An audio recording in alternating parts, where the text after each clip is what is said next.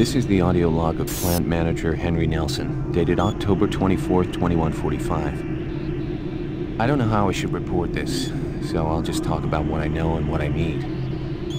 I've had quite a few employees reporting to me that they've heard strange sounds, like voices talking, calling them, even when they were alone. At first, I didn't believe them. The guys down here like to kid around, but they assured me they were serious. I ignored the stories at first, until one day, I heard something too.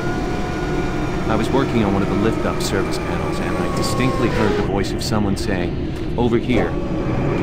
I quickly turned to see who was there, but the passage was completely empty. I looked around, but I didn't see another soul. I even checked the work logs, and no one else was working near that area. I don't want to sound crazy here, but my guys and myself are a little spooky. Some of the guys were even talking about ghosts. So, to make everyone, including myself, feel a little more comfortable, I'd like to request that a security team make a thorough check of the EFR area. Thank you. Henry Nelson.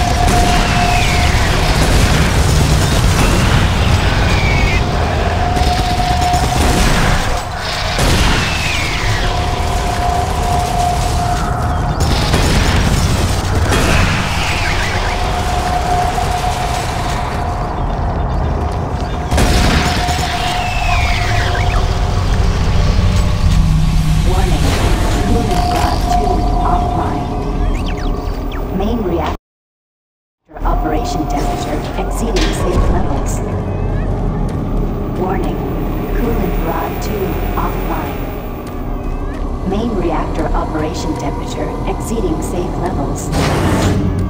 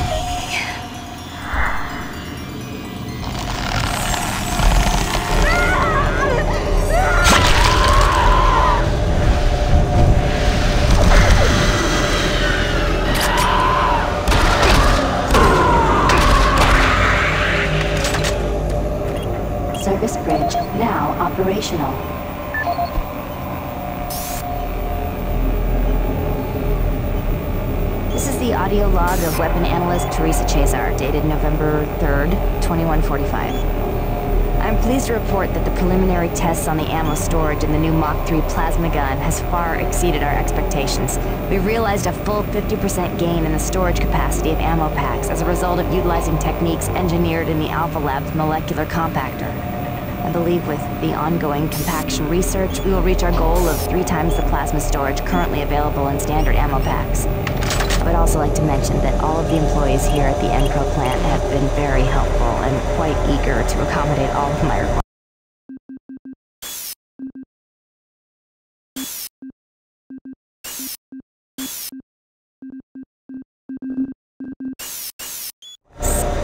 For security reasons, I've locked the plasma gun and the extra ammo in locker 063 with door code 972. End of lock.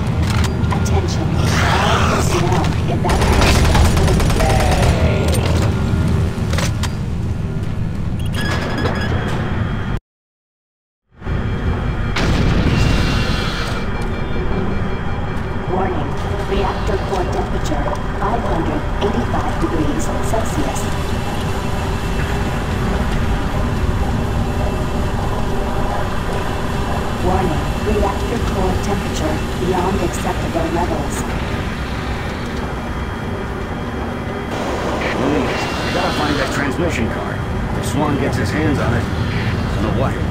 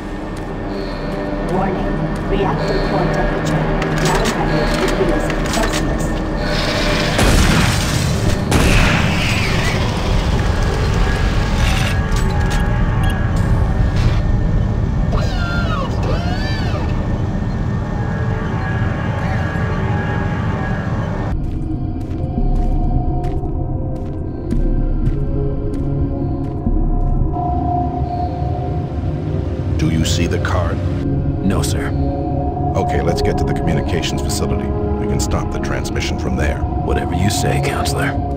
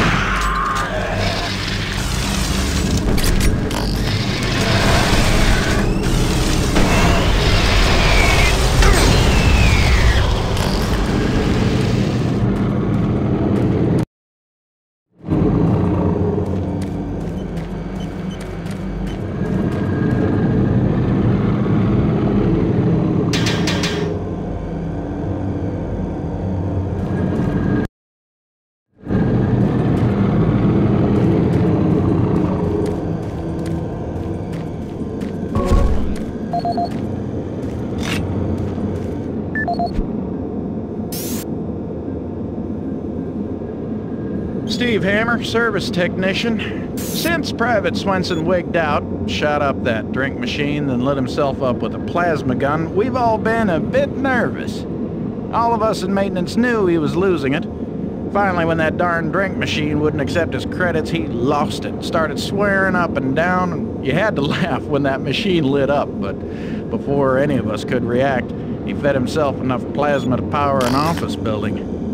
There wasn't enough head to clean up, just vapor. It's a bad thing to happen to anyone. Anyway, Hey. Over here. We were hit. I don't know how much farther I can go. Here. Take the transmission card. We can't stay here. Isn't safe.